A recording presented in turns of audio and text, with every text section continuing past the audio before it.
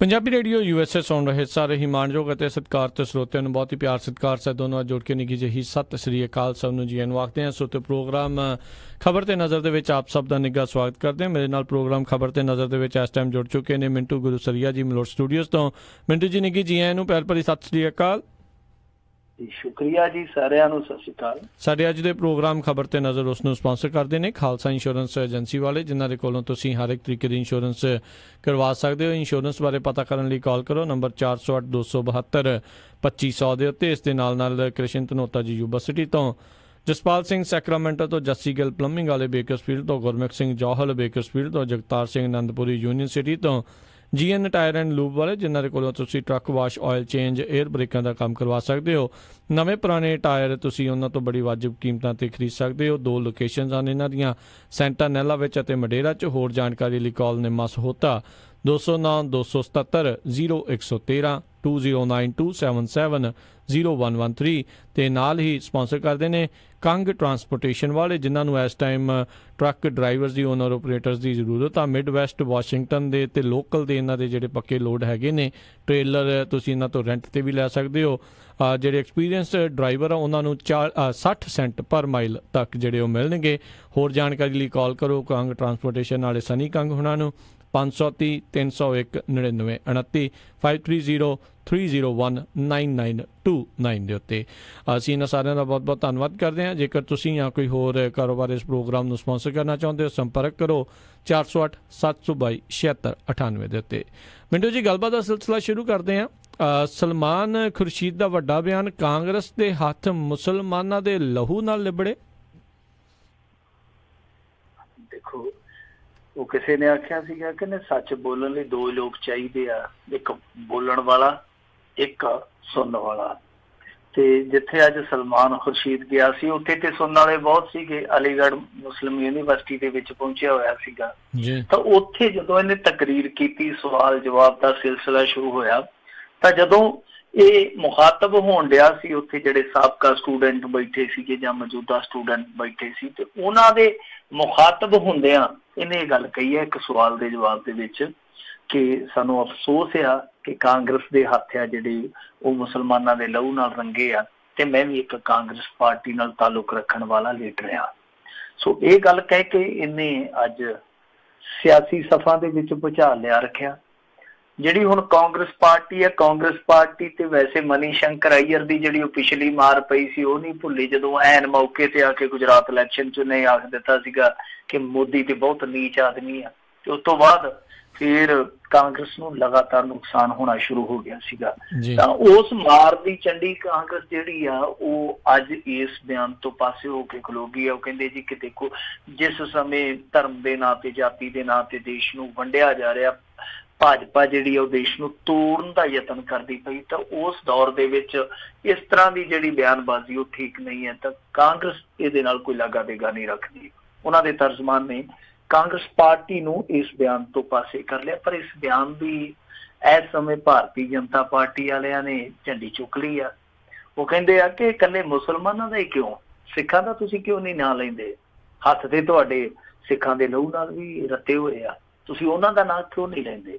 ਸੋ ਕੁੱਲ ਮਿਲਾ ਕੇ ਐਨ ਮੌਕੇ ਤੇ ਜਦੋਂ ਇਹ ਇੱਕ ਬਹੁਤ ਵੱਡਾ ਸਿਆਸੀ ਮੋਰਚਾ ਲਾਉਣ ਜਾ ਰਹੇ ਸੀ ਕਿ ਸੰਵਿਧਾਨ ਬਚਾਓ ਯਾਤਰਾ ਤਾਂ ਉਸ ਮੌਕੇ ਤੇ ਇਸ ਤਰ੍ਹਾਂ ਦਾ ਬਿਆਨ ਆ ਜਾਣਾ ਉਹ ਕਿਤੇ ਨਾ ਕਿਤੇ ਇਹਨਾਂ ਨੂੰ ਪਿਛਲਖੁਰੀ ਕਰਦਾ। ਦੂਜੀ ਚੀਜ਼ ਇਹ ਆ ਕਿ ਸਲਮਾਨ ਖੁਰਸ਼ੀਦ ਇਹਨਾਂ ਦਿਨਾਂ 'ਚ ਦੂਜੀ ਵਾਰੀ ਇਹਨਾਂ ਨੂੰ ਸੈਲਫ ਗੋਲ ਕਰ ਗਿਆ। ਹੂੰ। ਪਹਿਲਾ ਮੌਕਾ ਉਹ ਸੀਗਾ ਜਦੋਂ ਇਹਨਾਂ ਨੇ ਚੀਫ ਜਸਟਿਸ ਆਫ ਇੰਡੀਆ ਦੇ ਖਿਲਾਫ ਅਮਾਦੋਸ਼ ਵਾਲਾ ਮਤਾ ਲਿਆਉਣਾ ਸੀਗਾ। ਤਾਂ ਉਸ ਸਮੇਂ ਸਲਮਾਨ ਖੁਰਸ਼ੀਦ ਨੇ ਨਾ ਕਰ ਦਿੱਤੀ ਸੀ ਕਿ ਮੈਂ ਇਹਦੇ ਤੇ ਸਾਈਨ ਨਹੀਂ ਕਰਨੇ। ਇਹ ਦੂਸਰਾ ਮੌਕਾ ਚੰਦ ਦਿਨਾਂ ਦੇ ਅੰਦਰ ਅੰਦਰ ਜਦੋਂ ਸਲਮਾਨ ਖੁਰਸ਼ੀਦ ਨੇ ਇਹਨਾਂ ਨੂੰ ਆਪ ਹੀ ਗੋਲ ਕਰ ਦਿੱਤਾ ਜਦ ਕਿ ਉਹ ਆਪ ਹੀ ਇਹਨਾਂ ਦੀ ਡੀ ਦੇ ਵਿੱਚ ਖਲੋਤਾ ਫੋਲੋਬੈਕ ਸੀਗਾ। ਸੋ ਕੁੱਲ ਮਿਲਾ ਕੇ ਸਲਮਾਨ ਖੁਰਸ਼ੀਦ ਨੇ ਵੈਸੇ ਮੈਂ ਕਹੂੰਗਾ ਕਿ ਝੂਠ ਨਹੀਂ ਬੋਲਿਆ। ਕਿਉਂਕਿ ਦੇਖੋ ਕਾਂਗਰਸ ਨੇ ਜਿਹੜਾ ਹੁਣ ਤੱਕ ਮਖੌਟਾ ਓੜਿਆ ਹੋਇਆ ਇੱਕ ਨਕਾਬ ਜਿਹੜਾ ਉਹਨੇ ਪਾਇਆ ਹੋਇਆ ਉਹ ਧਰਮ ਨਿਰਪੇਖਵਾਦਤਾ ਦਾ। ਉਹਦੇ ਪਿੱਛੇ ਜੇ ਚਿਹਰਾ ਦੇਖੋਗੇ ਫਿਰ ਬੜੀਆਂ ਸਾਰੀਆਂ ਘਟਨਾਵਾਂ ਜਿਹੜੀਆਂ ਹਿਸਟਰੀ ਦੇ ਵਿੱਚ ਐਸੀਆਂ ਤੁਹਾਨੂੰ ਮਿਲਣਗੀਆਂ ਜੋ ਸਲਮਾਨ ਖੁਰਸ਼ੀਦ ਦੇ ਬਿਆਨ ਨੂੰ ਕਿਤੇ ਨਾ ਕਿਤੇ ਸੱਚ ਸਾਬਤ ਕਰਦੀਆਂ। ਮਸਲਨ 1947 ਚ ਇਹ ਮੁਲਕ ਆਜ਼ਾਦ ਹੁੰਦਾ 1948 ਦੇ ਵਿੱਚ ਏਐਮਯੂ ਐਕਟ ਹੈ ਜਿਹੜਾ ਉਹਨੂੰ ਸੋਧਿਆ ਜਾਂਦਾ।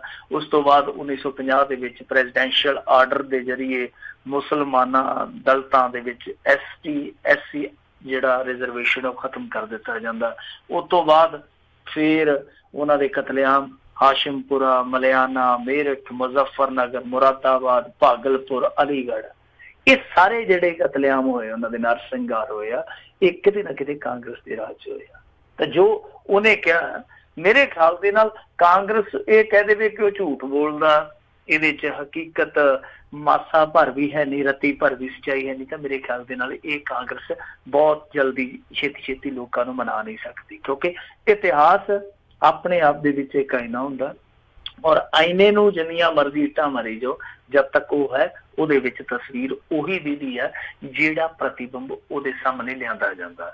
ਕੁੱਲ ਮਿਲਾ ਕੇ ਇਸ ਸਮੇਂ ਸਲਮਾਨ ਖੁਰਸ਼ੀਦ ਦੇ ਬਿਆਨ ਦੀ ਚਰਚਾ ਪੂਰੀ ਹੈ ਪਰ ਇਸ ਚਰਚਾ ਦੇ ਵਿੱਚੋਂ ਬਹੁਤ ਕੁਝ ਇਹ ਵੀ ਨਿਕਲਦਾ ਪਿਆ ਕਿ ਕਿਸ ਤਰ੍ਹਾਂ ਬਾਬਰੀ ਮਸਜਿਦ ਦਾ ਟਹਿਣਾ ਫਿਰ ਬਾਬਰੀ ਮਸਜਿਦ ਤੋਂ ਬਾਅਦ ਤੁਰੰਤ ਬੰਬੇ ਬੰਬ ਧਮਾਕੇ ਫਿਰ ਦੰਗੇ, ਫਿਰ ਪਹਿਲਾਂ ਉਸ ਤੋਂ ਅਜੀਬ ਗਾਂਧੀ ਬਾਰੇ ਆ ਹੁਣ ਪਿੱਛੇ ਜੇ ਕਦਵਾਈ ਸਾਹਿਬ ਨੇ ਇੱਕ ਕਿਤਾਬ ਜਾਰੀ ਕੀਤੀ ਹੈ ਜਿਹਦੇ 'ਚ ਸਿੱਧੇ ਤੌਰ ਤੇ ਉਹਨਾਂ ਲਿਖਿਆ ਕਿ 1999 ਦਾ ਜਿਹੜਾ ਇਲੈਕਸ਼ਨ ਜਿੱਤਿਆ ਗਿਆ ਸੀਗਾ ਤਾਂ ਉਸ ਤੋਂ ਪਹਿਲਾਂ ਰਾਜੀਵ ਗਾਂਧੀ ਔਰ ਜਿਹੜਾ ਉਸ ਸਮੇਂ ਦਾ ਸੀਗਾ ਸ਼ਾਇਦ ਸੰਘ ਦਾ ਮੁਖੀ। ਇਹਨਾਂ ਦੋਵਾਂ ਨੇ ਆਪਸ ਦੇ ਵਿੱਚ ਇੱਕ ਬੈਠਕ ਕੀਤੀ ਸੀਗੀ। ਸ਼ਾਇਦ 1985 ਵਾਲਾ ਇਲੈਕਸ਼ਨ ਸੀਗਾ ਜਿਹਦੇ ਵਿੱਚ ਬੜੀ ਹਿਸਟੋਰੀਕਲ ਇਹਨਾਂ ਨੂੰ ਸਫਲਤਾ ਮਿਲੀ ਸੀਗੀ। ਸੋ ਇਹ ਸਾਰੀਆਂ ਚੀਜ਼ਾਂ ਜਿਹੜੀਆਂ ਨੇ ਉਹ ਇੱਕ ਵਾਰੀ ਫੇਰ ਬਾਹਰ ਨਿਕਲੀਆਂ ਪਰ ਸਲਮਾਨ ਖਰਸ਼ੀਦ ਦਾ ਇਸ ਮੌਕੇ ਤੇ ਇਹਨਾਂ ਨੂੰ ਸੈਲਫ ਗੋਲ ਕਰਨਾ ਉਹ ਕਈ ਮਾਮਲਿਆਂ ਦੇ ਵਿੱਚ ਸ਼ੱਕੀ ਵੀ ਹੈ ਕਿਉਂਕਿ ਸਲਮਾਨ ਖਰਸ਼ੀਦ ਨੇ ਜਿਵੇਂ ਤੁਹਾਨੂੰ ਕਿਹਾ ਕਿ ਦੋ ਦਫਾ ਕਰ ਗਿਆ ਤਾਂ ਹੋ ਸਕਦਾ ਆਉਣ ਵਾਲੇ ਦਿਨਾਂ ਦੇ ਵਿੱਚ ਸਲਮਾਨ ਖਰਸ਼ੀਦ ਹੈ ਜਿਹੜਾ ਉਹ ਕੋਈ ਰੁਖ ਹੋਰ ਵੀ ਕੱਟਦਾ ਨਜ਼ਰ ਸਾਨੂੰ ਆਵੇ। ਹੂੰ ਜੀ ਜੀ। ਅਗਲੀ ਗੱਲ ਕਰਦੇ ਆ ਮਿੰਟੂ ਜੀ ਵੀ ਆਸਾ ਰਾਮ ਤੇ ਕਹਿੰਦੇ ਕੱਲ ਆਊਗਾ ਫੈਸਲਾ? ਅੱਜ ਦੀ ਰਾਤ ਤੇ ਫਿਰ ਬੜੀ ਭਾਰੀ ਰਾਤ ਹੋਣੀ ਹੈ। ਇਹ ਜਿਵੇਂ ਸਲਮਾਨ ਖਾਨ ਦਾ ਦਿਨ ਸੀਗਾ ਨਾ ਜਿੱਦਣ ਫੈਸਲੇ ਦਾ ਤੇ ਸਲਮਾਨ ਖਾਨ ਦਾ ਚਿਹਰਾ ਪਹਿਲਾਂ ਹੀ ਤਰੇਲੀਓ ਤਰੇਲੀ ਹੁੰਦਾ ਦੇਖਿਆ ਸੀਗਾ ਲੋਕਾਂ ਨੇ ਕਿ ਕਿਦਾਂ ਬੇਚੈਨੀ ਹੁੰਦੀ ਹੈ ਚਿਹਰੇ ਤੇ। ਤਾਂ ਇਹ ਆਸਾ ਰਾਮ ਦੇ ਨਾਲ ਇਹ ਸਧਾਰਨ ਬੰਦਾ ਜਿਹੜਾ ਛੋਟੇ ਤੋਂ ਛੋਟੇ ਕੇਸ ਦੇ ਵਿੱਚ ਫਸਿਆ ਹੋਵੇ, ਜੇ ਇੱਕ ਰਾਤ ਪਹਿਲਾਂ ਉਹਦਾ ਬੀਪੀ ਚੈੱਕ ਕੀਤਾ ਜਾਵੇ, ਮੇਰੇ ਖਿਆਲ ਤੇ ਨਾਲ ਨਾਰਮਲ ਨਹੀਂ ਆਊਗਾ ਕਿ ਫੈਸਲਾ ਕੱਲ ਨੂੰ ਆਉਣਾ ਅਦਾਲਤ 'ਚ। ਕੀ ਆਊਗਾ? ਇਹ ਇੱਕ ਬਹੁਤ ਵੱਡੀ ਉਪਰਾਮਤਾ ਹੁੰਦੀ ਹੈ ਖੈਰ ਆਸਾਰਾਮ ਨੂੰ ਹੁਣ ਇਸ ਦਿਨ ਦਾ ਸਾਹਮਣਾ ਤੇ ਕਰਨਾ ਹੀ ਪੈਣਾ, ਰੋ ਕੇ ਕਰੇ, ਹੱਸੇ ਹੱਸ ਕੇ ਕਰੇ। ਸੋ ਇਹਦੇ ਵਿੱਚ ਹੁਣ ਉੱਥੇ ਬਹੁਤ ਸਾਰੀਆਂ ਤਿਆਰੀਆਂ ਜਿਹੜੀਆਂ ਕੀਤੀਆਂ ਗਈਆਂ, ਕਿਉਂਕਿ ਜਿਸ ਤਰੀਕੇ ਦੇ ਨਾਲ ਇੱਥੇ ਜਦੋਂ ਡੇਰੇਦਾਰ ਨੂੰ ਸਜ਼ਾ ਹੋਈ ਸੀ ਕਿ ਪੰਚਕੂਲੇ ਦੇ ਵਿੱਚ ਭੰਨਤੋੜ ਕੀਤੀ ਗਈ, ਉਹਦੇ ਤੋਂ ਲੈ ਕੇ ਥੋੜਾ ਜਿਹਾ ਰਾਜਸਥਾਨ ਪ੍ਰਸ਼ਾਸਨ ਚਿੰਤਤ ਹੈ ਕਿਤੇ ਨਾ ਕਿਤੇ। ਉਹ ਨਹੀਂ ਚਾਹੁੰਦੇ ਕਿ ਉਹ ਨੌਬਤ ਜਿਹੜੀ ਪੰਚਕੂਲੇ ਚ ਆਈ ਸੀਗੀ, ਇੱਥੇ ਜੋਧਪੁਰ ਦੇ ਵਿੱਚ ਆ ਜਾਵੇ। ਇਸ ਕਰਕੇ ਜਿਹੜਾ ਉੱਥੋਂ ਦਾ ਪੁਲਿਸ ਪ੍ਰਸ਼ਾਸਨ ਸੀਗਾ, ਉਹ ਪਹਿਲਾਂ ਹੀ ਹਾਈ ਕੋਰਟ 'ਚ ਚਲੇ ਗਿਆ। ਕਿ ਸਾਨੂੰ ਇਜਾਜ਼ਤ ਦਿੱਤੀ ਜਾਵੇ ਅਸੀਂ ਜਿਹੜਾ ਇਹ ਫੈਸਲਾ ਹੈ ਕੋਰਟ ਦਾ ਜਿਹੜਾ ਫੈਸਲਾ ਹੈ ਇਹਨੂੰ ਜੇਲ੍ਹ ਦੇ ਅੰਦਰ ਹੀ ਸੁਣਾ ਦਈਏ। ਸੋ ਉਹਨਾਂ ਨੇ ਪ੍ਰਵਾਨਗੀ ਦੇ ਦਿੱਤੀ ਆ ਇਹਦਾ ਫੈਸਲਾ ਜਿਹੜਾ ਕੱਲ ਨੂੰ ਸੁਣਾਇਆ ਜਾਊਗਾ ਉਹ ਅਦਾਲਤ ਜੇਲ੍ਹ ਦੇ ਵਿੱਚ ਹੀ ਲੱਗੂਗੀ ਉਹਦੇ 'ਚ ਇਹਦੇ ਬਚਾਅ, ਪੱਖ ਵਾਲਾ ਵਕੀਲ, ਜਿਹੜਾ ਸਰਕਾਰੀ ਵਕੀਲ, ਇਸ ਤੋਂ ਇਲਾਵਾ ਜਿਹੜੇ ਇਹਦੇ ਨਾਲ ਸਹਿਦੋਸ਼ੀ ਆ, ਉਹ ਸਾਰੇ ਜੇਲ੍ਹ ਦੇ ਵਿੱਚ ਹੀ ਇਕੱਠੇ ਕੀਤੇ ਜਾਣਗੇ, ਉਸ ਤੋਂ ਬਾਅਦ ਫੈਸਲਾ ਜਿਹੜਾ ਉੱਥੇ ਪੜਿਆ ਜਾਊਗਾ। ਪਰ ਫਿਰ ਵੀ ਬਾਹਰ ਜੋ ਕੁਝ ਵਾਪਰਦਾ ਪਿਆ ਉਹ ਕਿਤੇ ਨਾ ਕਿਤੇ ਇਹਨਾਂ ਲਈ ਚਿੰਤਾ ਦਾ ਸਬਬ ਹੈ। ਦੱਸਦੇ ਇਹ ਆ ਕਿ ਇਹਦੇ ਭਗਤ ਜਿਹੜੇ ਉਹ ਵੱਖੋ ਵੱਖਰੇ ਰੂਪ ਵਟਾ ਕੇ, ਵੱਖੋ ਵੱਖਰੇ ਰੰਗ ਵਟਾ ਕੇ ਉੱਥੇ ਪਹੁੰਚਣੇ ਸ਼ੁਰੂ ਹੋ ਗਏ ਆ। ਇਸੇ ਕਰਕੇ ਇਹਨਾਂ ਨੇ ਬਾਹਰ ਵੀ ਲਟ ਜਾਰੀ ਕਰ ਦਿੱਤਾ, ਜਿੱਦਾਂ ਹੋਟਲ ਵਗੈਰਾ ਜਾਂ ਜਿਹੜੇ ਹੋਰ ਧਰਮਸ਼ਾਲਾ ਵਗੈਰਾ ਇਸ ਤਰ੍ਹਾਂ ਦੇ ਜਿਹੜੇ ਸਥਾਨ ਹੁੰਦੇ ਆ, ਉਹਨਾਂ ਤੇ ਵੀ ਉਹਨਾਂ ਨੇ ਤਲਾਸ਼ੀ ਸ਼ੁਰੂ ਕਰ ਦਿੱਤੀ ਆ ਕਿ ਕੋਈ ਇੱਥੇ ਲੋਕ ਛਿਪਕੇ ਤੇ ਨਹੀਂ ਰਹਿ ਰਿਹਾ, ਕੋਈ ਹਥਿਆਰ ਵਗੈਰਾ ਤੇ ਨਹੀਂ ਇਕੱਠਾ ਕਰ ਰਿਹਾ। ਯਾਨੀ ਸਾਰਾ ਉੱਥੋਂ ਦਾ ਪ੍ਰਸ਼ਾਸਨ ਹੈ ਜਿਹੜਾ ਪੱਬਾਂ ਪਾ ਰਿਹਾ ਕਿ ਕੱਲ ਨੂੰ ਫੈਸਲਾ ਹੋਣਾ, ਉਸ ਤੋਂ ਬਾਅਦ ਇਹੋ ਜੀ ਕੋਈ ਨੌਬਤ ਨਾ ਆਵੇ ਜਿਹਦੇ ਨਾਲ ਉੱਥੇ ਹਾਲਾਤ ਜਿਹੜੇ ਆ, ਉਹ ਮੁੱਠੀ ਚੋਂ ਗਿਰ ਜਾਣ। ਕਿਉਂਕਿ ਉੱਥੇ ਅਗਾਂ ਇਲੈਕਸ਼ਨ ਵੀ ਆ ਰਾਜਸਥਾਨ ਦੇ ਵਿੱਚ। ਤੁਹਾਨੂੰ ਪਤਾ ਹੀ ਆ ਕਿ ਇਲੈਕਸ਼ਨ ਉੱਥੇ ਬਹੁਤ ਨੇੜੇ ਆਇਆ ਪਿਆ। ਜੇ ਕੋਈ ਉੱਥੇ ਅਨਸੁਖਾਵੀ ਘਟਨਾ ਵਾਪਰ ਜਾਂਦੀ ਹੈ ਤੇ ਭਾਰਤੀ ਜਨਤਾ ਪਾਰਟੀ ਲਈ ਉਹ ਨੁਕਸਾਨਦਾਇਕ ਹੋ ਸਕਦੀ ਹੈ। ਸੋ ਇਸ ਕਰਕੇ ਇਹਨਾਂ ਨੇ ਤਿਆਰੀਆਂ ਫੁੱਲ ਕੀਤੀਆਂ। ਹੁਣ ਫੈਸਲਾ ਕੀ ਆਉਂਦਾ? ਬਰੀ ਜਾਂ ਕੰਬਲਦਰੀ, ਉਹ ਤੇ ਕੱਲ ਨੂੰ ਪਤਾ ਲੱਗੂਗਾ। ਵੈਸੇ ਜੇ ਫੈਸਲਾ ਉਲਟ ਆ ਗਿਆ ਸਰ ਦੇ ਤਾਂ ਹੋ ਸਕਦਾ। ਕਹਿ ਦੇਵੇ ਕਿ ਮੈਨੂੰ ਵੀ ਉੱਥੇ ਭੇਜ ਦਿਓ ਜਿੱਥੇ ਸਰਸੇ ਵਾਲਾ ਘੱਟੋ ਘੱਟ ਤਾਸ਼ ਤੇ ਖੇਡ ਲਿਆ ਕਰਾਂਗੇ ਦੋ ਤਿੰਨ ਜਾਣੇ। ਉਹ ਹੁਣ ਇਸ ਮਾਮਲੇ ਦੇ ਵਿੱਚ ਸਭ ਤੋਂ ਨਵੇਕਲਾ ਪੱਖ ਜਿਹੜਾ ਉਹ ਇਹ ਆ ਕਿ ਜਿਹੜੀ ਪੀੜਤਾ ਕੁੜੀ ਹੈ ਸ਼ਾਹਜਹਾਂਪੁਰ ਦੀ ਯੂਪੀ ਦੀ ਉਹਦੇ ਘਰ ਤੇ ਵੀ ਬਹੁਤ ਸਖਤ ਪਹਿਰਾ ਕੀਤਾ ਗਿਆ ਪੁਲਿਸ ਦਾ। ਕਿਉਂਕਿ ਪੁਲਿਸ ਨੂੰ ਇਨਪੁਟ ਮਿਲੀ ਹੈ ਕਿ ਜੇ ਮੰਨ ਲਓ ਫੈਸਲਾ ਜਿਹੜਾ ਉਹ ਆਸਾਰਾਮ ਦੇ ਉਲਟ ਜਾਂਦਾ, ਤਾਂ ਉਸ ਘਰ ਤੇ ਵੀ ਹਮਲਾ ਹੋ ਸਕਦਾ, ਕਿਉਂਕਿ ਇਸ ਚੱਲਦੇ ਟ੍ਰਾਇਲ ਦੇ ਦੌਰਾਨ ਬਹੁਤ ਸਾਰੇ ਗਵਾਹਾਂ ਨੂੰ ਗੋਲੀਆਂ ਮਾਰੀਆਂ ਗਈਆਂ, ਜਿਨ੍ਹਾਂ ਚੋਂ ਕੁਝ ਜਾਨੋਂ ਚਲੇ ਗਏ। ਕੁਝ ਜ਼ਖਮੀ ਹੋਏ ਕੁਝ ਕੁਝ ਨੂੰ ਧਮਕੀਆਂ ਦਿੱਤੀਆਂ ਗਈਆਂ ਕੁਝ ਆਪਣੀ ਗਵਾਹੀ ਦੇ ਗਏ। ਸੋ ਕੁੱਲ ਮਿਲਾ ਕੇ ਹੁਣ ਟ੍ਰਾਇਲ ਦਾ ਨਿਪਟਾਰਾ ਤੇ ਕੱਲ ਨੂੰ ਹੋਣਾ, ਪਰ ਟ੍ਰਾਇਲ ਚੱਲਦੇ ਦਰਮਿਆਨ ਬਹੁਤ ਕੁਝ ਵਾਪਰਿਆ। ਹੁਣ ਅੱਗੇ ਕੁਝ ਨਾ ਵਾਪਰ ਜਾਵੇ, ਪੀੜਤਾਂ ਦੇ ਘਰ ਦੇ ਉੱਤੇ ਨਾ ਸਿਰਫ ਸੀਸੀਟੀਵੀ ਕੈਮਰਿਆਂ ਦੀ ਨਿਗਰਾਨੀ ਲਾਈ ਗਈ ਆ, ਬਲਕਿ ਪੁਲਿਸ ਫੋਰਸ ਵੀ ਬਿਠਾ ਦਿੱਤੀ ਗਈ ਆ। ਜੀ ਜੀ। ਅਗਲੀ ਜਿਹੜੀ ਆਪਾਂ ਗੱਲ ਕਰਦੇ ਆਂ ਵੀ ਕੈਪਟਨ ਨਾਰਾਜ਼ਗੀਆਂ ਦੂਰ ਕਰਨ ਲਈ ਹੁਣ ਵੰਡੇਗਾ ਚੇਅਰਮੈਨੀਆਂ। ਚੇਅਰਮੈਨੀਆਂ ਵੰਡ ਕੇ ਦੇਖੋ ਬੋਝ ਕਿਤੇ ਤੇ ਪੈਣਾ? ਬੋਝ ਉਸ ਜਨਤਾ ਤੇ ਪੈਣਾ। ਜਿਹੜੀ ਜਨਤਾ ਇਹਨਾਂ ਦਾ ਬੋਝ ਚੱਲਦੀ ਚੱਲਦੀ ਕੁੱਬੀ ਹੋ ਚੁੱਕੀ ਆ। ਕੁੱਬ ਪੈ ਗਿਆ। ਇਹ ਕਹਿੰਦੇ ਖਜ਼ਾਨਾ ਖਾਲੀ ਆ ਤੇ ਜਿਹੜੀਆਂ ਚੇਅਰਮੈਨੀਆਂ ਉਹ ਇਹ ਆਪਣੇ ਘਰੋਂ ਲਿਆ ਕੇ ਚਲਾਉਣਗੇ ਚੇਅਰਮੈਨੀਆਂ ਉਹ ਵੀ ਤੇ ਖਜ਼ਾਨੇ ਚੋਂ ਹੀ ਚੱਲਣਗੀਆਂ ਹੁਣ ਦੇਖੋ ਇਹਨਾਂ ਦਾ ਜਿਹੜਾ ਰੌਲਾ ਰੱਟਾ ਉਹ ਤੇ ਬਹੁਤ ਹੱਦ ਤੱਕ ਅੱਗੇ ਚਲੇ ਗਿਆ। ਕਿਉਂਕਿ ਅੱਜ ਪਟਿਆਲੇ ਦੇ ਵੀ ਦੋ ਵਿਧਾਇਕ ਹੈ ਜਿਹੜੇ ਇਹਨਾਂ ਦੇ ਖਾਸ, ਜਿੱਦਾਂ ਕਰਦਿਆਲ ਕੰਬੋਜ ਆ ਜਾਂ ਇੱਕ ਮਦਨ ਜਮਾਲਪੁਰਾ ਉਹ ਦੋਵੇਂ ਵੀ ਜਿਹੜੇ ਆ, ਉਹ ਇੱਥੋਂ ਤੱਕ ਚਲੇ ਗਏ, ਉਹਨਾਂ ਨੇ ਪ੍ਰਨੀਤ ਕੌਰ ਦਾ ਫੋਨ ਤੱਕ ਨਹੀਂ ਚੁੱਕਿਆ ਅੱਜ। ਉਹ ਦੋਵੇਂ ਇਸ ਗੱਲ ਨੂੰ ਲੈ ਕੇ ਖਫਾ ਹੈ ਕਿ ਬੀਸੀ ਜਿਹੜੀ ਕਿ 25% ਦੀ ਵੋਟ ਹੈ ਪੰਜਾਬ ਦੇ ਵਿੱਚ, ਉਹਨਾਂ ਦਾ ਬੰਦਾ ਤੁਸੀਂ ਮੰਤਰੀ ਮੰਡਲ 'ਚ ਕੋਈ ਨਹੀਂ ਲਿਆ ਬੈਕਵਰਡ ਕਲਾਸਿਸ ਦਾ। ਸੋ ਉਹ ਪਟਿਆਲੇ ਤੋਂ ਜਿਹੜੇ ਕਿ ਖਾਸ ਖਾਸ ਇਹਨਾਂ ਦੇ, ਉਹ ਵੀ ਅੱਜ ਨਾਰਾਜ਼ ਹੋ ਗਏ ਖੁੱਲੇ ਰੂਪ ਦੇ ਵਿੱਚ। ਇਹ ਤੋਂ ਇਲਾਵਾ ਨਾਰਾਜ਼ਗੀਆਂ ਤੁਹਾਨੂੰ ਪਤਾ ਹੀ ਹੈ ਕਿੰਨੀਆਂ ਰਾਜਕੁਮਾਰ ਵੇਰਕਾ ਤੋਂ ਲੈ ਕੇ ਨੱਥੂ ਰਾਮ ਸੁਰਜੀਤ ਤਵਾਨ ਰਾਜਾ ਵੜਿੰਗ ਅੰਦਰ ਖਾਤੇ ਉਹ ਵੀ ਤੜਿੰਗਿਆ। ਹੋਰ ਕਿੰਨੇ ਵਿਧਾਇਕ ਆ ਜਿੱਦਾਂ ਸੰਗਤ ਸਿੰਘ ਗਿੱਲ ਜੀਆਂ ਹੋ ਗਿਆ। ਬਹੁਤ ਜ਼ਿਆਦਾ ਵਿਧਾਇਕ ਆ। ਆਪਾਂ ਗਿਣਤੀ ਕਰਨ ਲੱਗੀਏ ਤੇ ਵਿੱਚ ਨਵਜੋਤ ਸਿੱਧੂ ਵੀ ਆ ਜਾਂਦਾ ਪ੍ਰਗਟ ਸਿੰਘ ਵੀ ਆ ਜਾਂਦਾ। ਜੀ। ਸੋ ਇਹ ਕਿਤੇ ਨਾ ਕਿਤੇ ਖਫਾ ਹੈਗੇ ਆ। ਆਪੋ ਆਪਣੀ ਥਾਂ ਤੇ ਖਫਾ ਹੈ। ਤਾਂ ਹੁਣ ਇਹਨਾਂ ਨੇ ਹੱਲ ਲੱਭਣ ਦਾ ਯਤਨ ਕੀਤਾ। ਕਿ ਕਿਸੇ ਤਰੀਕੇ ਨਾਲ ਇਹਨਾਂ ਨੂੰ ਵਰਾਇਆ ਜਾਵੇ, ਕਿਉਂਕਿ ਆਉਣ ਵਾਲੇ ਸਮੇਂ ਦੇ ਵਿੱਚ ਇਹਨਾਂ ਨੇ ਦਲਤ ਸੰਮੇਲਨ ਕਰਨਾ ਦਿੱਲੀ ਦੇ ਵਿੱਚ। ਕੌਮੀ ਪੋਲਿਟਿਕਸ ਦਾ ਉਹ ਇਵੈਂਟ ਹਿੱਸਾ। ਤਾਂ ਇਹ ਜੇ ਇਸ ਤਰ੍ਹਾਂ ਇੱਕ ਦੂਜੇ ਨਾਲ ਪਾਟੇ ਰਹੇ, ਤਾਂ ਫਿਰ ਇਹਨਾਂ ਨੂੰ ਪਤਾ ਕਿ ਉੱਥੇ ਜਲੂਸ ਨਾ ਨਿਕਲ ਜਾਵੇ। ਸੋ ਇਸ ਕਰਕੇ ਹੁਣ ਇਹ ਠੰਡੇ ਛੱਟੇ ਮਾਰਦੇ ਪਏ ਆ, ਕਹਿੰਦੇ ਪਏ ਆ ਕਿ ਚੇਅਰਮੈਨੀਆਂ ਦੇ ਦੇਵਾਂਗੇ। ਤੇ ਚੇਅਰਮੈਨੀਆਂ ਦੇਖੋ, ਸਾਰੇ ਤਾਂ ਮੇਰੇ ਖਿਆਲ ਦੇ ਨਾਲ ਚੇਅਰਮੈਨ ਵੀ ਨਹੀਂ ਲਾਏ ਜਾਣੇ, ਜਿੰਨੇ ਵਿਧਾਇਕ ਰਹਿੰਦੇ ਆ। ਕਿਉਂਕਿ ਮੰਤਰੀ ਮੰਡਲ ਦੇ ਵਿੱਚ ਤੇ 18 ਵਿਧਾਇਕ ਹੀ ਆਏ ਆ। ਤੇ ਇਹਨਾਂ ਦੇ ਕੋਲ 70 ਆ। 70 ਚ ਚਲੋ 5-7 ਇਹੋ ਜਿਹੇ ਕੱਢ ਦਿਓ ਜਿਹੜੇ ਕਹਿਣ ਕਿ ਕੈਪਟਨ ਸਾਹਿਬ ਕੋਈ ਗੱਲ ਨਹੀਂ ਚੱਲੀ ਜਾਂਦਾ, ਕੰਮ ਚਲਤੀ ਦਾ ਨਾਮ ਗਾੜੀ ਆ।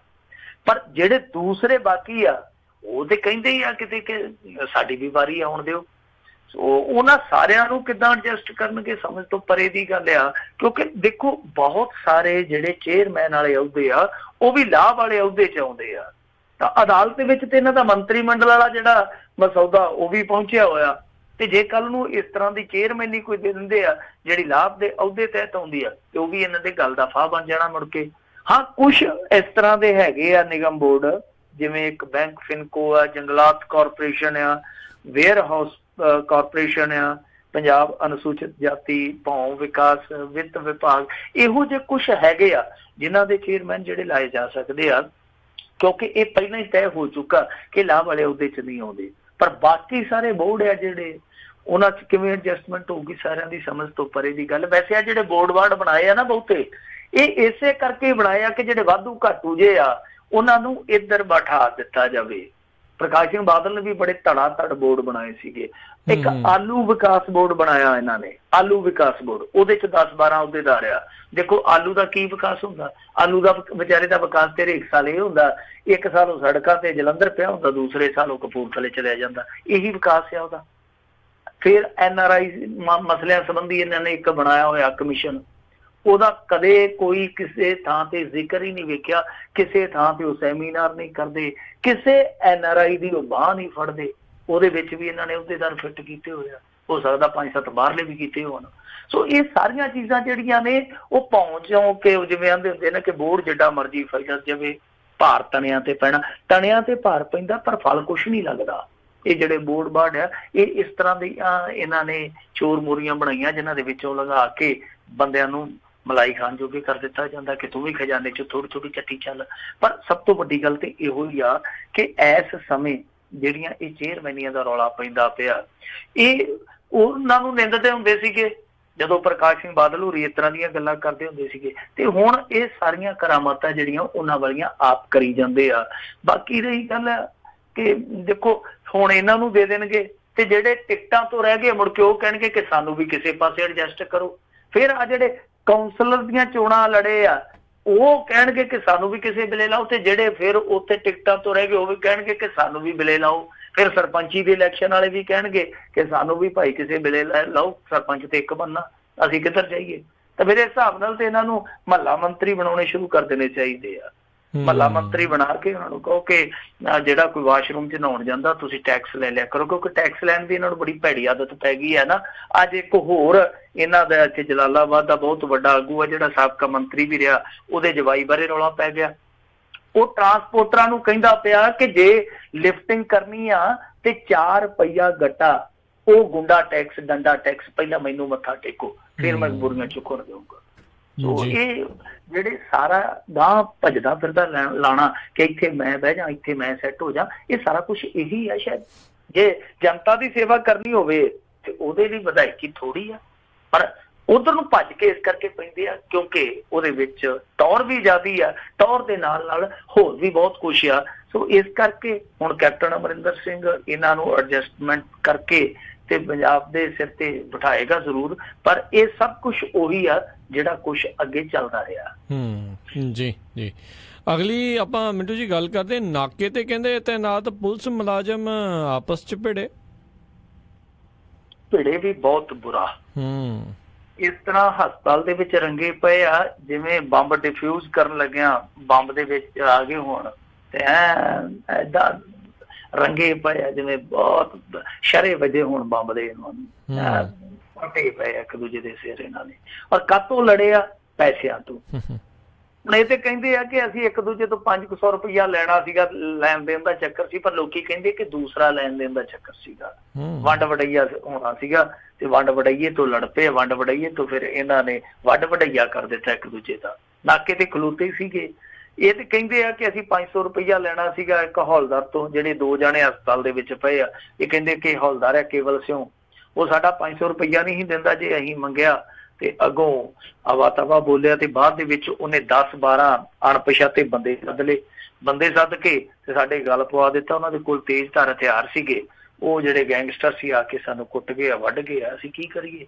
ਤੇ ਜਿਹੜਾ ਹੌਲਦਾਰ ਕੇਵਲ ਸਿੰਘ ਕੇਵਲ ਸਿੰਘ ਕਹਿੰਦਾ ਕਿ ਮੈਂ ਤੇ ਕੇਵਲ ਸੱਚ ਹੀ ਬੋਲੂਗਾ। ਸੱਚ ਇਹ ਆ ਕਿ ਮੈਨੂੰ ਮੜਾ ਚੰਗਾ ਬੋਲਦੇ ਹੀਗੇ ਤੇ ਕਹਿੰਦਾ ਇਹ ਜਦੋਂ ਸ਼ਰਾਬ ਪੀ ਕੇ ਸੁੱਤੇ ਪਏ ਸੀ ਮੇਰਾ ਫੌ ਪੈ ਗਿਆ ਕਿ ਮੈਂ ਇਹਨਾਂ ਨੂੰ ਰਗੜ ਕੱਤਿਆ ਆਪ ਅਮਲਾ।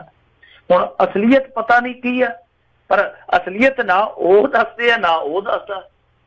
ਅਸਲ ਦੇ ਵਿੱਚ ਕਹਾਣੀ ਤੇ ਕੁਝ ਇਹੋ ਜੀ ਆ ਕਿ ਲੈਣ ਦੇਣ ਤੋਂ ਲੜੇ ਆ ਕਿਉਂਕਿ ਇਹਨਾਂ ਦੀ ਡਿਊਟੀ ਇੱਕੋ ਨਾਕੇ ਤੇ ਸੀਗੀ। ਵੈਸੇ ਵੀ ਮਾਝੇ ਦੇ ਵਿੱਚ ਨਾਕੇ ਜਿਹੜੇ ਅੱਜ ਕੱਲ ਮਸ਼ਹੂਰ ਆ।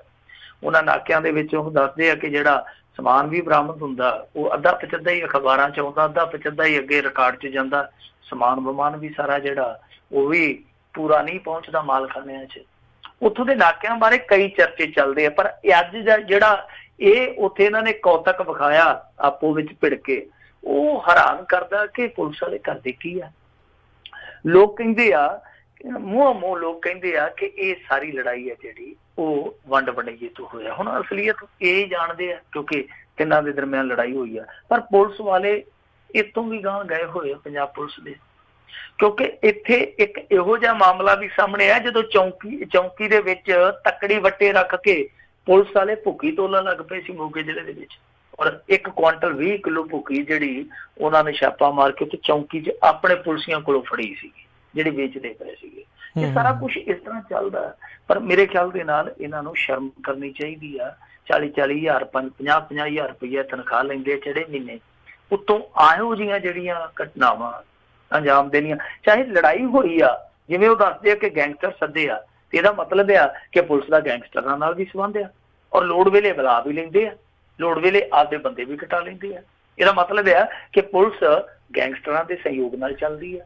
ਤੇ ਜੇ ਕਹਾਣੀ ਦੂਸਰੀ ਆ, ਲੈਣ ਦੇਣ ਤੋਂ ਝਗੜੇ ਆ, ਤੇ 500 ਰੁਪਏ ਤੋਂ ਨਹੀਂ ਝਗੜਾ ਹੋਇਆ ਹੋ ਸਕਦਾ, ਹਾਂ, ਹੱਕ ਦਾ, ਸੱਚ ਦਾ ਪੈਸਾ ਜ਼ਰੂਰ ਹੋ ਸਕਦਾ, ਕਿਤੇ ਇਕੱਠੇ ਲੈ ਹੋਣ ਤੇ ਮੁੜ ਕੇ ਕਹਿਣ ਕਿ ਅਸੀਂ ਕਿਉਂ ਛੱਡੀਏ 500 ਰੁਪਇਆ ਸਾਡਾ ਹੱਕ ਬਣਦਾ, ਕਿਉਂਕਿ ਕਮਾਈ ਤੇ ਸਾਰਿਆਂ ਨੇ ਸਾਂਝੀ ਕੀਤੀ ਆ। ਤੇ ਜੋ ਮਰਜ਼ੀ ਹੈ ਚਾਹੇ ਉਹ ਲੈਣ ਦੇਣ ਦਾ ਮਾਮਲਾ, ਚਾਹੇ ਇਹ ਵਸੂਲੀ ਚੋਂ ਵੱਡਾ ਵਡਾਈ ਦਾ ਮਾਮਲਾ, ਤੇ ਚਾਹੇ ਗੈਂਗਸਟਰ ਸੱਦ ਕੇ ਵੱਡਾ ਵਡਾਈ ਦਾ ਮਾਮਲਾ, ਇਹ ਬਹੁਤ ਸੰਜੀਦਾ ਮਸਲਾ ਇਹਦੇ ਤੇ ਹੁਣ ਪੁਲਿਸ ਅੱਗੇ ਕੀ ਕਾਰਵਾਈ ਕਰਦੀ ਆ ਉਹ ਵੇਖਾਂਗੇ। ਪਰ ਹਾਲ ਦੀ ਘੜੀ ਸਾਰੇ ਪੁਲਿਸ ਅਫਸਰ ਨੇ ਜਿਹੜੇ ਉਹ ਵੀ ਚੁੱਪ ਵੱਟ ਕੇ ਬੈਠੇ ਆ ਕਹਿੰਦੇ ਜੀ ਕੋਈ ਗੱਲ ਨਹੀਂ ਕਰਾਂਗੇ ਕਾਰਵਾਈ ਸ਼ਿਕਾਇਤ ਆ ਗਈ ਆ। ਹੂੰ ਜੀ ਜੀ। ਅਗਲੀ ਜਿਹੜੀ ਆਪਾਂ ਗੱਲ ਕਰਦੇ ਪਾਕਿਸਤਾਨ ਚ ਜਥੇ ਤੋਂ ਵੱਖ ਹੋਇਆ ਅਮਰਜੀਤ ਪਰਤਿਆ? ਦੇਖੋ ਬੀਬੀ ਤੇ ਇੰਨੀ ਮੁੜੀ ਪਰ ਬੀਬਾ ਮੁੜਾਇਆ ਹੂੰ। ਅਮਰਜੀਤ ਸਿੰਘ ਮੁੜਾਇਆ ਅਮਰਜੀਤ ਸਿੰਘ ਬਾਰੇ ਪਤਾ ਲੱਗ ਗਿਆ ਸੀਗਾ ਕੱਲ ਹੀ ਕਿ ਇਹ ਕਿਸੇ ਆਪਣੇ ਸੱਜਣ ਕੋਲ ਗਿਆ। ਇਹ ਕਮਾਲ ਦੀ ਗੱਲ ਆ ਕਿ ਇਹਨਾਂ ਨੇ ਫੇਸਬੁੱਕ ਤੇ ਦੋਸਤ ਲੱਭੇ ਆ ਉਹ ਬੀਬੀ ਨੇ ਵੀ ਫੇਸਬੁੱਕ ਤੇ ਦੋਸਤ ਲੱਭਿਆ ਸੀਗਾ ਜੋ ਉਹਦਾ ਗਾਂ ਸ਼ੌਰ ਬਣ ਗਿਆ ਮੁੜ ਕੇ। ਇਹ ਜਿਹਦੇ ਕੋਲੇ ਜਾ ਕੇ ਉੱਥੇ ਠਹਿਰਿਆ ਇਹ ਵੀ ਇਹਨੇ ਫੇਸਬੁੱਕ ਤੇ ਹੀ ਲੱਭਾ ਹੈਗਾ ਥੋੜੇ ਮਹੀਨੇ ਪਹਿਲਾਂ 4 ਕੁ ਮਹੀਨੇ ਪਹਿਲਾਂ। ਅਸਲ ਦੇ ਵਿੱਚ ਇਹ ਮੁੰਡਾ 24 25 ਵਰਿਆਂ ਦਾ ਨਰਨਜਨਪੁਰੇ ਦਾ ਅੰਮ੍ਰਿਤਸਰ ਦੇ ਲਾਗੇ ਪਿੰਡ ਆ। ਇਹ ਕਹਿੰਦਾ ਕਿ ਮੈਂ ਮਲੇਸ਼ੀਆ 'ਚ ਸੀਗਾ ਤੇ ਉੱਥੋਂ ਹੀ ਮੈਂ ਆਪਣੇ ਫੇਸਬੁੱਕ ਮਿੱਤਰ ਨੂੰ ਕਿਹਾ ਸੀਗਾ ਕਿ ਮੈਂ ਜਥੇ ਦੇ ਨਾਲ ਇੱਥੇ ਯਾਤਰਾ ਤੇ ਆਉਣ ਡਿਆ ਤੇ ਤੂੰ ਮੇਰਾ ਪ੍ਰਬੰਧ ਕਰਕੇ ਰੱਖੀ, ਮੈਂ ਤੈਨੂੰ ਮਿਲੂੰਗਾ ਜ਼ਰੂਰ। ਤੂੰ ਵੀ ਕਹਿੰਦਾ, ਆਣ ਮਿਲੋ ਸੱਜਣਾ। ਤੇ ਫਿਰ ਕਹਿੰਦਾ ਕਿ ਮੈਂ ਚਕਾਨੀ ਦੇ ਕੇ ਸਿਕਿਉਰਿਟੀ ਗਾਰਡਸ ਨੂੰ ਉੱਥੋਂ ਭੱਜ ਲਿਆ ਤੇ ਫਿਰ ਆਪਣੇ ਸੱਜਣ ਦੇ ਕੋਲ ਜਾ ਠਹਿਰਿਆ। ਕਹਿੰਦਾ ਕਿ ਮੈਂ ਉਹਨੂੰ ਕਿਹਾ ਸੀਗਾ ਕਿ ਮੇਰੇ ਕੋਲ 1 ਮਹੀਨੇ ਦਾ ਵੈਲਿਡ ਵੀਜ਼ਾ ਉਹ ਮੇਰੀ ਸੇਵਾ ਕਰਦਾ ਰਿਹਾ, ਖਿਦਮਤ ਕਰਦਾ ਰਿਹਾ, ਪਰ ਅਚਾਨਕ ਜਦੋਂ ਟੈਲੀਵਿਜ਼ਨ ਚੈਨਲਾਂ ਤੇ ਇਹ ਖਬਰ ਚੱਲ ਪਈ ਕਿ ਅਮਰਜੀਤ ਸਿੰਘ ਹੈ ਜਿਹੜਾ, ਉਹ ਲਾਪਤਾ ਹੋ ਗਿਆ ਤੇ ਉਹਨੂੰ ਲੱਭਿਆ ਜਾਵੇ। ਫਿਰ ਕਹਿੰਦਾ ਕਿ ਇਸ ਮੇਰੇ ਸੱਜਣ ਨੇ ਹੀ ਪੁਲਿਸ ਨੂੰ ਸੂਚਿਤ ਕੀਤਾ ਕਿ ਅਮਰਜੀਤ ਸਿੰਘ ਮੇਰੇ ਕੋਲ ਆ।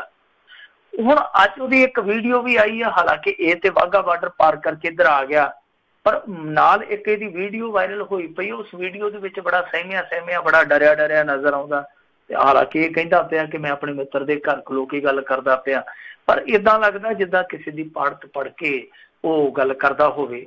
ਉਸ ਗੱਲ ਦੇ ਵਿੱਚ ਕਹਿਣ ਡਿਆ ਕਿ ਦੇਖੋ ਜੀ, ਮੈਂ ਆਪਣੀ ਮਰਜ਼ੀ ਨਾਲ ਆਇਆ ਸੀਗਾ, ਮੇਰੀ ਬਹੁਤ ਸੇਵਾ ਕੀਤੀ, ਪਾਕਿਸਤਾਨੀਆਂ ਨੇ ਮੈਨੂੰ ਕੁਝ ਨਹੀਂ ਕਿਹਾ। ਉਹ ਇਦਾਂ ਲੱਗਦਾ ਜਿੱਦਾਂ ਕਿਸੇ ਨੇ ਪਾਠ ਪੜਾ ਕੇ, ਕਿਸੇ ਨੇ ਪੱਟੀ ਪੜਾ ਕੇ ਬੁਲਾਇਆ ਹੋਵੇ। ਖੈਰ, ਦੂਜੇ ਪਾਸੇ ਇੱਕ ਉਰਦੂ ਅਖਬਾਰ ਨੇ ਇਹਦੇ ਬਾਰੇ ਸਟੋਰੀ ਵੀ ਉੱਥੇ ਛਾਇਆ ਕੀਤੀ ਆ। ਉਹਦੇ ਵਿੱਚ ਉਹਨਾਂ ਨੇ ਬੜਾ ਜ਼ਬਰਦਸਤ ਖੁਲਾਸਾ ਕੀਤਾ। ਹਾਲਾਂਕਿ ਸਾਡਾ ਭਾਰਤੀ ਮੀਡੀਆ ਇਸ ਪਾਸੇ ਥੋੜਾ ਜਿਹਾ ਫਾੜੀ ਗਿਣਾਗੇ। ਪਰ ਉਹਨਾਂ ਦੇ ਇੱਕ ਅਖਬਾਰ ਨੇ ਬੜੀ ਖੋਜੀ ਸਟੋਰੀ ਲਾਈ ਆ। ਉਹ ਕਹਿੰਦੇ ਆ ਕਿ ਅਸਲ ਦੇ ਵਿੱਚ ਕਹਾਣੀ ਇਹ ਸੀਗੀ ਕਿ ਇਸ ਮੁੰਡੇ ਨੇ ਗੋਟੀ ਫਿੱਟ ਕੀਤੀ ਸੀਗੀ ਕਿਸੇ ਟਰੈਵਲ ਏਜੰਟ ਦੇ ਨਾਲ। ਔਰ ਇਹ ਮੁੰਡਾ ਵਾਇਆ ਬਲੂਚਿਸਤਾਨ ਅਫਗਾਨਿਸਤਾਨ ਈਰਾਨ ਨਿਕਲ ਕੇ ਤੁਰਕੀ ਪਹੁੰਚਣਾ ਚਾਹੁੰਦਾ ਸੀਗਾ ਤਾਂ ਕਿ ਉਸ ਰਸਤੇੋਂ ਫਿਰ ਮੁੜ ਕੇ ਯੂਰਪ 'ਚ ਐਂਟਰੀ ਕਰ ਸਕੇ। ਸੋ ਅਸਲ ਦੇ ਵਿੱਚ ਉਹ ਕਹਿੰਦੇ ਕਹਾਣੀ ਇਹ ਸੀਗੀ ਕਿ ਅੰਮ੍ਰਿਤਸਰ ਦੇ ਇੱਕ ਟਰੈਵਲ ਏਜੰਟ ਨੂੰ ਇਹਨੇ 2 ਲੱਖ ਰੁਪਈਆ ਦੇਣਾ ਕੀਤਾ ਸੀਗਾ। ਜਦੋਂ ਇਹ ਪਾਕਿਸਤਾਨ ਪੁੱਜ ਗਿਆ ਫਿਰ ਇਹਨੇ ਆਪਣੇ ਭਰਾ ਨੂੰ WhatsApp ਤੇ ਇੱਕ ਮੈਸੇਜ ਵੀ ਕੀਤਾ ਕਿ ਮੈਂ ਪਹੁੰਚ ਗਿਆ। ਕਹਿੰਦੇ ਕਿ ਉਸ ਤੋਂ ਬਾਅਦ 2 ਲੱਖ ਰੁਪਈਆ ਜਿਹੜਾ ਉਹ ਟਰੈਵਲ ਏਜੰਟ ਨੂੰ ਦਿੱਤਾ ਗਿਆ।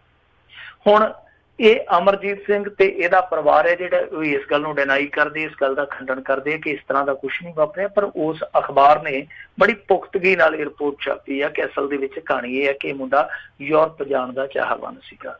ਤੇ ਹੁਣ ਦੇਖਣਾ ਪਊਗਾ ਇਹ ਜਿਹੜੀਆਂ ਇੱਥੋਂ ਦੀਆਂ ਏਜੰਸੀਆਂ ਵੈਸੇ ਤੈਨੂੰ ਫੋਲਣਗੀਆਂ ਚੰਗੀ ਤਰ੍ਹਾਂ ਕਿ ਤੈਨੂੰ ਮਿੱਤਰ ਕੋਈ ਪਾਕਿਸਤਾਨੀ ਲੱਭਿਆ, ਕੋਈ ਰਸਤੇ ਦੇ ਵਿੱਚ ਤੈਨੂੰ ਇੰਨੇ ਦੇਸ਼ ਮਿਲੇ ਮਲੇਸ਼ੀਆ ਤੋਂ ਆਉਂਦੇ ਆ, ਕਿਸੇ ਹੋਰ ਦੇਸ਼ ਦੇ ਵਸਿੰਦੇ ਨਾਲ ਦੋਸਤੀ ਕਰ ਲੈਣੋ ਸੋ ਇਹਨੂੰ ਪੁੱਛਣਗੇ ਤੇ ਜ਼ਰੂਰ, ਪਰ ਮੇਰੇ ਖਿਆਲ ਦੇ ਨਾਲ ਸ਼੍ਰੋਮਣੀ ਗੁਰਦੁਆਰਾ ਪ੍ਰਬੰਧਕ ਕਮੇਟੀ ਦੇ ਜਿਹੜੇ ਪ੍ਰਬੰਧਕ ਆ, ਉਹਨਾਂ ਨੂੰ ਵੀ ਇਸ ਚੀਜ਼ ਤੇ ਬਾਜ ਅੱਖ ਰੱਖਣੀ ਚਾਹੀਦੀ ਆ।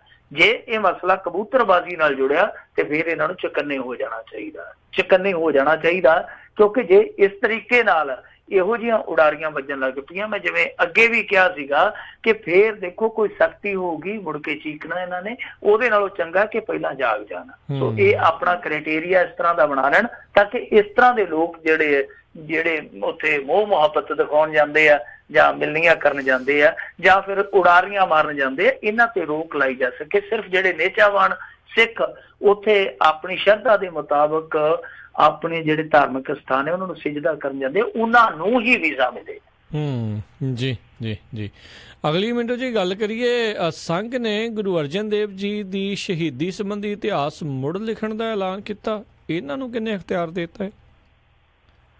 ਬਿਲਕੁਲ ਸਵਾਲ ਤੁਹਾਡਾ ਬੜਾ ਜਾਇਜ਼ ਹੈ ਵਾਜਬ ਹੈ ਕਿ ਸਿੱਖਾਂ ਦੇ ਕੋਲ ਉਹਨਾਂ ਦੀ ਆਪਣੀ ਇੱਕ ਕਮੇਟੀ ਆ ਕਮੇਟੀ ਦੇ ਕੋਲ ਇਸ ਹਿਸਟਰੀ ਬਾਬਤ ਇੱਕ ਬੋਰਡ ਬਣਿਆ ਹੋਇਆ। ਇਹਨਾਂ ਦੇ ਕੋਲ ਵਿਦਵਾਨ ਆ ਚਿੰਤਕ ਹੈ ਸਿੱਖ ਕੌਮ ਕੋਲ ਔਰ ਬੜਾ ਜ਼ਬਰਦਸਤ ਇਹਨਾਂ ਦੇ ਕੋਲ ਬੁੱਧੀਜੀਵੀਆਂ ਦਾ ਗਰੁੱਪ ਆ। ਤੇ ਫਿਰ ਸੰਗ ਨੂੰ ਪਤਾ ਨਹੀਂ ਕੀ ਇਹ ਚੱਲ ਉੱਠਿਆ ਕਹਿੰਦੇ ਕਿ ਅਸੀਂ ਹੁਣ ਸਿੱਖ ਇਤਿਹਾਸ ਲਿਖਾਂਗੇ। ਖੈਰ ਇਹਨਾਂ ਦੀ ਜਿਹੜੀ ਇਹ ਮੰਸ਼ਾ ਉਹ ਸ਼ੁਰੂ ਕਿੱਥੋਂ ਹੋਈ ਆ? ਸ਼ੁਰੂ ਹੋਈ ਆ ਥੋੜੇ ਦਿਨ ਪਹਿਲਾਂ ਦਿੱਲੀ ਦੇ ਵਿੱਚ। ਇਹਨਾਂ ਨੇ ਭਾਰਤੀ ਇਤਿਹਾਸ ਸਕਲ ਸਮਿਤੀ ਦੀ ਇੱਕ ਬੈਠਕ ਕੀਤੀ ਸੀ, ਉਹਦੇ 'ਚ ਹੀ ਇਹਨਾਂ ਨੇ ਐਲਾਨ ਕੀਤਾ। ਉਹ ਕਹਿੰਦੇ ਆ ਕਿ ਸ੍ਰੀ ਗੁਰੂ ਅਰਜਨ ਦੇਵ ਜੀ ਨੇ ਭਾਰਤੀ ਸੰਸਕ੍ਰਿਤੀ ਦੀ ਰੱਖਿਆ ਤੇ ਫਲਾਅ ਦੇ ਵਿੱਚ ਬਹੁਤ ਵੱਡਾ ਯੋਗਦਾਨ ਪਾਇਆ ਵਾ। ਤੇ ਇਸ ਲਈ ਉਹਨਾਂ ਦੇ ਇਸ ਯੋਗਦਾਨ ਤੋਂ ਦੇਸ਼ ਵਾਸੀਆਂ ਨੂੰ ਜਾਣੂ ਕਰਵਾਉਣਾ ਜਿਹੜਾ ਉਹ ਬਹੁਤ ਲਾਜ਼ਮੀ ਆ। ਸੋ ਸ਼ਹਾਦਤ ਨਾਲ ਜੁੜਿਆ ਉਹ ਕਹਿੰਦੇ ਕਿ ਇਤਿਹਾਸ ਚੰਗੀ ਤਰ੍ਹਾਂ ਲੋਕਾਂ ਤੱਕ ਪਹੁੰਚਿਆ ਨਹੀਂਗਾ ਸੋ ਅਸੀਂ ਇਹਦੇ ਤੇ ਦੁਬਾਰਾ ਖੋਜ ਕਰਾਂਗੇ ਦੁਬਾਰਾ ਇਸ ਇਤਿਹਾਸ ਨੂੰ ਸੰਗ੍ਰਹਿਤ ਕਰਕੇ ਬਾਅਦ ਦੇ ਵਿੱਚ ਮੁੜ ਲਿਖ ਕੇ ਲੋਕਾਂ ਤੱਕ ਪਹੁੰਚਾਵਾਂਗੇ। ਹਾਲਾਂਕਿ ਮਨਜੀਤ ਸਿੰਘ ਜੀ ਕੇ ਨੇ ਸਿੱਧੇ ਤੌਰ ਤੇ ਕਹਿ ਦਿੱਤਾ ਕਿ ਆਰਐਸਐਸ ਨੂੰ ਸਿੱਖ ਇਤਿਹਾਸ ਲਿਖਣ ਦਾ ਕੋਈ ਹੱਕ ਨਹੀਂ ਹੈ। ਜੀ। ਪਰ ਮਨਜੀਤ ਸਿੰਘ ਜੀ ਕੇ ਹੋਰਾਂ ਤੇ ਆਪਦਿਆਂ ਤੇ ਕਈ ਸਵਾਲ ਖੜੇ ਹੁੰਦੇ ਪਏ ਜਿਸ ਤਰੀਕੇ ਨਾਲ ਅੱਜ ਕੱਲ ਤੁਹਾਨੂੰ ਪਤਾ ਪਗੜੀ ਵਾਲਾ ਮਸਲਾ ਵੀ ਨਿਕਲ ਆਇਆ ਨਾ ਦਸਤਾਰ ਵਾਲਾ। ਉਹਦੇ ਵਿੱਚ ਵੀ ਕਹਿੰਦੇ ਆ ਕਿ ਜਿਹੜੀ ਸਾਈਕਲ ਫੈਡਰੇਸ਼ਨ ਆ ਉਹਦਾ ਪ੍ਰਧਾਨ ਤੇ ਇੱਕ ਹੈਗਾ ਢੀਂਡਸਾ ਇੱਕ ਓਮਕਾਰ ਸਿੰਘ ਆ ਮਨਜੀਤ ਸਿੰਘ ਜੀ ਕੇ ਵੀ ਦੱਸਦੇ ਆ ਕਿ ਉਹ ਵੀ ਸਾਈਕਲਿੰਗ ਦੇ ਵਿੱਚ ਇੰਟਰਸਟ ਰੱਖਦਾ ਕਾਫੀ। ਇਹ ਆਪਣੇ ਆਪ ਘਿਰ ਜਾਂਦੇ ਕਈ ਵਾਰ ਫਿਰ ਵੀ ਪਰ ਇਹਨਾਂ ਨੇ ਮੁਖਾਲਫਤ ਕੀਤੀ ਹੈ ਇਸ ਮਾਮਲੇ 'ਚ। ਪਰ ਹੁਣ ਸਭ ਤੋਂ ਵੱਡੀ ਗਲਤੀ ਇਹ ਹੈ ਕਿ ਇਸ ਤਰ੍ਹਾਂ ਦੀ ਨੌਬਤ ਕਿਉਂ ਆਈ ਆ? ਕਿਉਂਕਿ ਗੁਰੂ ਸਾਹਿਬਾਨ ਦਾ ਜਿਹੜਾ ਇਤਿਹਾਸ ਹੈ ਉਹ ਤੇ ਬਹੁਤ ਵੱਡੇ ਰੂਪ ਦੇ ਵਿੱਚ ਮੌਜੂਦ ਆ। ਔਰ ਕਿਹੜਾ ਇਸ ਦੇਸ਼ ਦਾ ਵਾਸੀ ਹੋਊਗਾ ਜਿਹੜਾ ਗੁਰੂ ਅਰਜਨ ਦੇਵ ਜੀ ਦੀ ਸ਼ਹੀਦੀ ਤੋਂ ਅਣਜਾਣ ਹੋਊਗਾ? ਕੋਈ ਹੈ? ਮੇਰੇ ਖਿਆਲ ਦੇ ਨਾਲ ਤੇ ਨਹੀਂ ਹੋਊਗਾ। ਜਿਹੜਾ ਇਸ ਦੇਸ਼ ਦਾ ਕੋਈ ਵੀ ਵਸਨੀਕ ਮਾੜੀ ਮੋਟੀ ਵੀ ਅਕਲ ਰੱਖਦਾ ਮਾੜੀ ਮੋਟੀ ਵੀ ਸੋਝੀ ਰੱਖਦਾ। ਤਾਂ ਦੂਜੇ ਪਾਸੇ ਜਿਹੜੀਆਂ ਇਹ ਚੀਜ਼ਾਂ ਆਰਐਸਐਸ ਵਾਲੇ ਕਰਦੇ ਪਏ ਆ। ਦੇਖੋ ਇਹਨਾਂ ਨੇ ਤੇ ਉੱਥੇ ਮਹਾਰਾਣਾ ਪ੍ਰਤਾਪ ਵੀ ਜਿਤਾ ਦਿੱਤਾ ਨਾ ਹਲਦੀ ਘਾਟੀ ਦੇ ਵਿੱਚ। ਜਿਸ ਤਰ੍ਹਾਂ ਦਾ ਇਤਿਹਾਸ ਲਿਖਦੇ ਪਏ ਅੱਜ ਕੱਲ ਜਿਸ ਤਰ੍ਹਾਂ ਦਾ ਇਤਿਹਾਸ ਇਹ ਸਿਰਜਦੇ ਪਏ ਆ ਉਸ ਇਤਿਹਾਸ ਦੀ ਮੇਰੇ ਖਿਆਲ ਦੇ ਨਾਲ ਸਿੱਖ ਇਤਿਹਾਸ ਨੂੰ ਤੇ ਬਿਲਕੁਲ ਹੀ ਲੋੜ ਹੈ ਨਹੀਂ ਕਿਉਂਕਿ ਸਿੱਖ ਇਤਿਹਾਸ ਪਹਿਲਾਂ ਹੀ ਹਵਾਲਿਆਂ ਦੇ ਨਾਲ ਭਰਿਆ ਕੋਈ ਇਤਿਹਾਸ ਤੇ ਹੈ ਨਹੀਂਗਾ ਇਹ ਬਹੁਤ ਸਾਰੇ ਹਵਾਲੇ ਪਹਿਲਾਂ ਹੀ ਮੌਜੂਦ ਆ। ਹਾਂ ਕਈ ਵਾਰ ਕਈ ਦਫਾ ਇਤਿਹਾਸ ਨੂੰ ਇਤਿਹਾਸ ਕਰੈਕਟ ਕਰਦਾ ਹੈ। ਕਈ ਥਾਵਾਂ ਤੇ। ਉਹਦੇ ਲਈ ਸਿੱਖਾਂ ਦੇ ਕੋਲ ਆਪਣੇ ਬਹੁਤ ਵੱਡੇ ਵੱਡੇ ਇਤਿਹਾਸਕਾਰ ਬੈਠੇ ਆ। ਆਰਐਸਐਸ ਨੂੰ ਇਹੋ ਜਿਹਾ ਕੰਮ ਕਰਨ ਦੀ ਜ਼ਰੂਰਤ ਕੋਈ ਨਹੀਂ ਔਰ ਆਰਐਸਐਸ ਠੀਕ ਢੰਗ ਨਾਲ ਕੰਮ ਕਰੂਗੀ ਇਹਦਾ ਯਕੀਨ ਕੋਈ ਨਹੀਂ। ਕਿਉਂਕਿ ਅੱਗੇ ਇੱਕ ਰੌਲਾ ਪੈ ਚੁੱਕਾ ਤੁਹਾਨੂੰ ਯਾਦ ਹੋਣਾ ਜਦੋਂ ਜੋਗਿੰਦਰ ਸਿੰਘ ਵਿਧਾਂਤੀ ਜਥੇਦਾਰ ਹੁੰਦਾ ਹੈਗਾ ਤਾਂ ਉਸ ਸਮੇਂ ਇੱਕ ਪੁਸਤਕ ਆ ਗਈ ਸੀਗੀ ਗੁਰੂ ਬਿਲਾਸ ਪਾਸ਼ਾਹੀ ਛੇਵੀਂ। ਉਸ ਪੁਸਤਕ ਦੇ ਵਿੱਚ ਬਹੁਤ ਅਨਾਪ ਸ਼ਨਾਪ ਬਕਿਆ ਗਿਆ ਸੀਗਾ ਗੁਰੂ ਸਾਹਿਬਾਨ ਬਾਰੇ। ਤੇ ਕਿਹਾ ਜਾਂਦਾ ਹੈ ਕਿ ਉਹ ਕਿਤਾਬ ਜਿਹੜੀ ਸੀਗੀ ਉਹ ਆਰਐਸਐਸ ਨੇ ਛਪਵਾਈ ਸੀਗੀ। ਉਸ ਤੋਂ ਬਾਅਦ ਉਸ ਕਿਤਾਬ ਦਾ ਕੀ ਬਣਿਆ? ਹਾਲਾਂਕਿ ਉਹ ਕਿਤਾਬ ਜਿਹੜੀ ਸੀਗੀ ਉਹ ਬੈਕ ਇਹਨਾਂ ਨੇ ਲੈ ਲਈ ਵਾਪਸ ਲੈ ਲਈ। ਬਾਅਦ ਦੇ ਵਿੱਚ ਇਹ ਨਹੀਂ ਪਤਾ ਲੱਗਿਆ ਕੋਈ ਕਿਤਾਬ ਕਿਨੇ ਛਪਵਾਈ ਕਿਹਦੀ ਦੇਖ ਰੇਖ 'ਚ ਛਪੀ। ਉਸ ਕਿਤਾਬ ਦਾ ਰੌਲਾ ਹਾਲੇ ਤੱਕ ਵੀ ਪੈਂਦਾ ਤੇ ਜੇ ਇਸ ਤਰ੍ਹਾਂ ਦੇ ਇਤਿਹਾਸ ਦੇ ਵਿੱਚ ਜੋ ਇਹ ਸਿਰਜਣ ਜਾ ਰਹੇ ਆ ਜੇ ਕੋਈ ਗੜਬੜ ਹੋਈ ਜੇ ਕੋਈ ਭੰਬਲ ਪੂਸਾ ਹੋਇਆ ਇੱਥੇ ਤੇ ਇੱਕ ਫਿਲਮ ਨੂੰ ਲੈ ਕੇ ਇੱਥੋਂ ਤੱਕ ਵਿਰੋਧ ਚਲੇ ਜਾਂਦਾ ਕਿ ਲੋਕ ਸੜਕਾਂ ਤੇ ਆਉਣ ਲਈ ਤਿਆਰ ਹੋ ਜਾਂਦੇ ਆ। ਤੇ ਜੇ ਇਸ ਤਰ੍ਹਾਂ ਦਾ ਕੋਈ ਰਲ ਗੱਡ ਕਰਨ ਦਾ ਯਤਨ ਕੀਤਾ, ਉਹ ਭੰਬਲ ਭੂਸਾ ਤੇ ਹੋਊਗਾ ਹੋਊਗਾ, ਫਿਰ ਇੱਕ ਟਕਰਾਅ ਦਾ ਵੀ ਸਬਬ ਬਣ ਸਕਦਾ। ਸੋ ਇਹਨਾਂ ਨੂੰ ਆਪਣਾ ਇਤਿਹਾਸ ਠੀਕ ਕਰਨ ਦੀ ਮੇਰੇ ਖਿਆਲ ਦੇ ਨਾਲ ਜਿਆਦੀ ਲੋੜ ਆ ਇਹ ਆਪਣਾ ਇਤਿਹਾਸ ਠੀਕ ਕਰਨ। ਸਿੱਖਾਂ ਕੋਲ ਆਪਣਾ ਇਤਿਹਾਸ ਹੈ ਉਹ ਆਪਣਾ ਇਤਿਹਾਸ ਸਾਂਭ ਸਕਦੇ ਸੰਭਾਲ ਸਕਦੇ ਆ। ਤਾਂ ਇਹ ਸਿੱਖ ਆਪਣਾ ਕੰਮ ਕਰਨ ਇਹ ਆਪਣਾ ਕੰਮ ਕਰਨ। ਇਸ ਤਰ੍ਹਾਂ ਦੀ ਦਖਲਅੰਦਾਜ਼ੀ ਮੇਰੇ ਖਿਆਲ ਦੇ ਨਾਲ ਬੇਲੋੜੀ ਆ। ਇਹ ਵਿਵਾਦਮਈ ਹੋ ਸਕਦੀ ਹੈ ਦੂਰ ਰਹਿਣਾ ਚਾਹੀਦਾ। ਹੂੰ ਜੀ ਜੀ। ਆ ਤੇ ਮਿੰਟੂ ਜੀ ਬਹੁਤ ਬਹੁਤ ਤੁਹਾਡਾ ਧੰਨਵਾਦ ਕਰਦੇ ਆ ਤੁਸੀਂ ਸਾਡੇ ਨਾਲ ਜੁੜੇ ਇਹਨਾਂ ਖਬਰਾਂ ਬਾਰੇ ਸਾਨੂੰ ਵਿਸਤਾਰ ਜਾਣਕਾਰੀ ਦਿੱਤੀਆਂ। ਅਗਲੀ ਵਾਰ ਤੱਕ ਲਈ ਬੜੀ ਮਿਹਰਬਾਨੀ। ਪਿਆਰ ਭਰਿਆ ਸਤਿ ਸ਼੍ਰੀ ਅਕਾਲ ਜੀ। ਸਤਿ ਸ਼੍ਰੀ ਤੇ ਸੋ ਤੇ ਇੱਥੇ ਸਾਡਾ ਅੱਜ ਦਾ ਪ੍ਰੋਗਰਾਮ ਸਮਾਪਤ ਹੈ। ਮਿਲਾਂਗੇ ਤੁਹਾਨੂੰ ਸਾਰਿਆਂ ਨੂੰ ਅਗਲੀ ਵਾਰ। ਉਦੋਂ ਤੱਕ ਲਈ ਮੈਨੂੰ ਇਜਾਜ਼ਤ ਦਿਓ। ਮੇਰੇ ਵੱਲੋਂ ਵੀ ਤੁਹਾਨੂੰ ਸਾਰਿਆਂ ਨੂੰ ਬਹੁਤ ਪਿਆਰ ਸਤਿਕਾਰ ਸਨਿੱਕੀ ਜੀ। ਸਤਿ ਸ਼੍ਰੀ ਅਕਾਲ। ਜਿਉਂਦੇ ਵਾਸਤੇ ਰਹੋ ਵਾਸਤੇ ਖੇਲਦੇ ਰਹੋ ਸੁਣਦੇ ਰਹੋ। Punjabi radio USA